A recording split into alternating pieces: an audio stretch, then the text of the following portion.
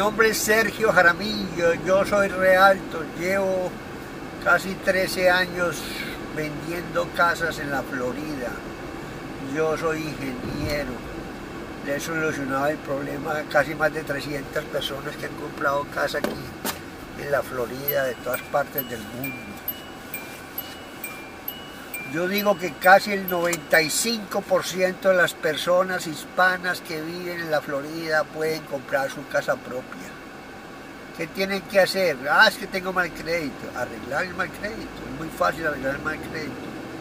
El mal crédito se demora seis meses para arreglarlo, para subirlo a más de 620. 620 el gobierno le presta una casa, un down payment del 4 el 5% y queda pagando durante 30 años lo mismo o menos que un arrendamiento.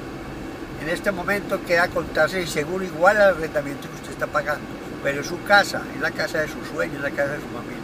Dentro de 10 años usted está pagando los mismos mil dólares, pero ya el arrendamiento ya vale dos mil de esa casa. Dentro de 30 años el arrendamiento suyo vale cinco mil y usted sigue pagando los mismos mil.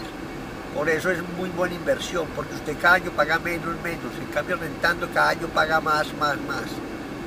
Usted comprando casa resta, usted rentando casa suma, cada año tiene que pagar más, más, al último no va a poder pagar la renta.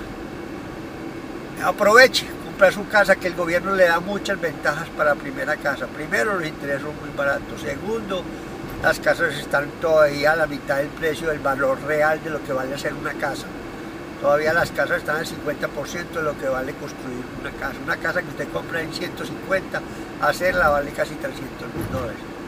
¿Por qué la están vendiendo tan barata? Porque esas, esas casas las, el banco las quitó y el gobierno en esa casa le está dando 100 mil dólares y los seguros le, le, están dando otros 100 mil dólares, 200 mil dólares. Por eso los bancos venden esas casas a esos precios tan baratos. Porque a ellos ya le dieron hace 7, 8 años casi 200 mil dólares en la misma casa. O sea, el gobierno le está haciendo usted un subsidio.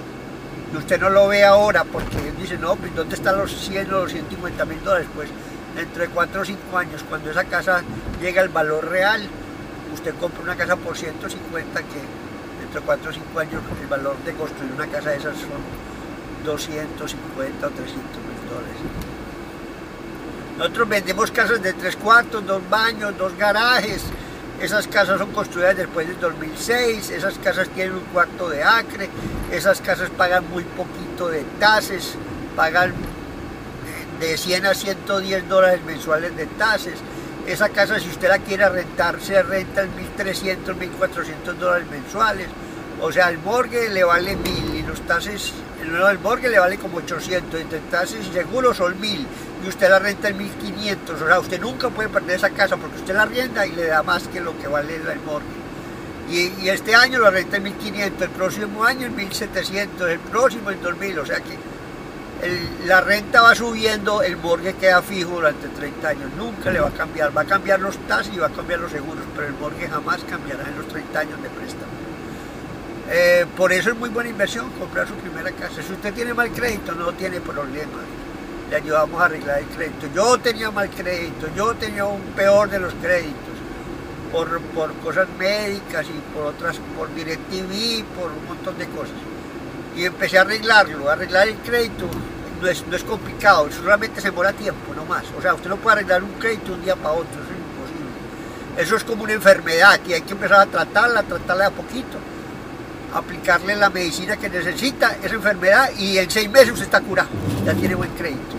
¿Qué necesita hacer? Pones, empezar a, a pagar la totalidad de lo que debe en las tarjetas de crédito. O sea, la más barata, cójale y pague cuánto debo 200, pago 200, estoy en cero, la pongo en cero. Después coge otra tarjeta y lo mismo, ponga en cero, hasta que ponga todas las tarjetas en cero. Eso no, cada vez que usted pone una tarjeta en cero, el crédito le va a subir. Pero eso no le sube instantáneamente, ellos hacen un informe cada mes, o sea, mes a mes le va subiendo el crédito. Y no sacar más tarjetas de crédito con las que tiene, quedarse con las que tiene. No tratar de sacar más tarjetas de crédito. Es una especie de ahorro en las tarjetas de crédito. Cuando usted ponga todas las tarjetas de crédito en cero, usted, usted, la, usted el, el crédito mismo le sube. Todos los meses el crédito le va subiendo. Y si se gasta 100, pagar ahí mismo los 100, o sea, mantenerlas en cero.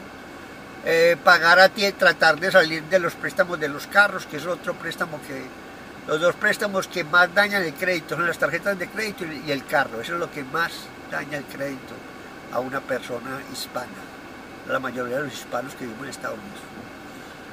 Eso nos perjudica mucho el crédito tratar de, salir de la deuda del carro o mantenerse al día con el carro o pagar un mes más en el carro para que tenga un mes adelantado, para que nunca se atrase, porque usted está pagando adelantado, o sea, nunca se va a atrasar. Entonces el carro le manda un informe para subir el crédito cada mes, cada mes le manda un informe. Y cada mes las tarjetas también le manda un informe.